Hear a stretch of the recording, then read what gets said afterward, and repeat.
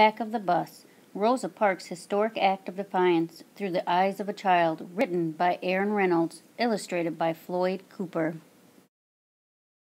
December 1st, 1955, Montgomery, Alabama. Winter's here in Montgomery, but I got the window down and a warm breeze blowing in as Mama and me huff down Cleveland Avenue on the big old bus. We're sitting right where we're supposed to, way in the back.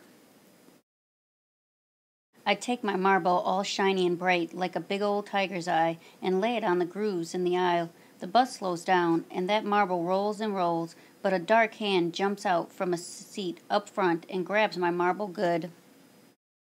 But it's just Mrs. Parks from the tailor shop. She looks back, smiling, flings a wink at me, and sets that marble back in its groove. That bus takes off again, and my marble comes right back to me, like I got it on a string. Mama shakes no at me, and I hold it snug in my hand. She's got them worked all day eyes, but she's got her strong chin on. Bus slams to a stop, doors slinging open, and people piling on, all crammed like lima beans. That long, dark aisles, all packed in, jammed up tight, and I'm glad my marble's tucked in safe. Y'all gotta move now. It's Mr. Blake, the driver. I can't see him 'cause of the people jam, but I know that growling old voice. Some folks get up, new ones sit down, but still that bus is sitting there stopped. Why ain't we going, Mama? I say all soft. Hush, child, she says, and I do.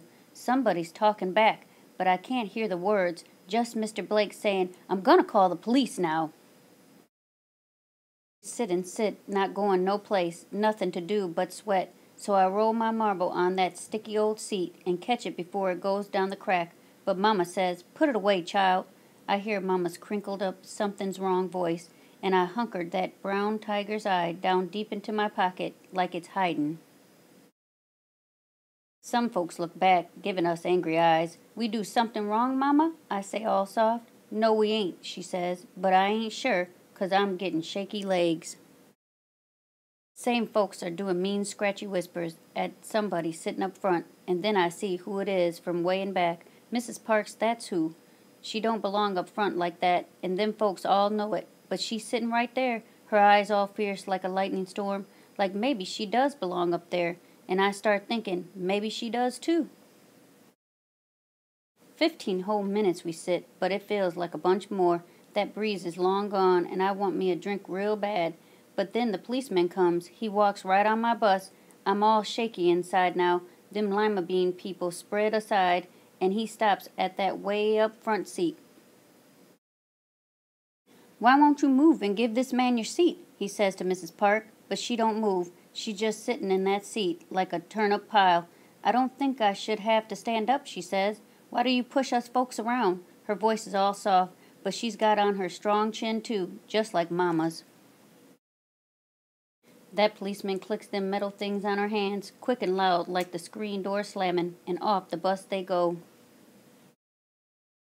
More people sit, and the air ain't warm no more. She's getting hauled off to jail or worse, and I'm watching out the window, Mama too, with them long tired eyes. There you go, Rosa Parks, stirring up a ho- nest of hornets, Mama saying in her to herself voice. But I hear, I see something too. She's got Mrs. Parks' lightning storm eyes now. We in trouble, Mama? I say all soft. No, we ain't, she says. Don't you worry none. Tomorrow all this'll be forgot. But I got something in me, all pale and punchy, saying it won't be. Don't know why, but instead of feeling all shaky, I feel a little strong, like Mama's chin. I take out my marble and start to hide it in my squeezy tight fist, but instead I hold it up to the light, right out in the open. That thing shines all brown and golden in the sunlight, like it's smilin', I think, 'cause it ain't gotta hide no more.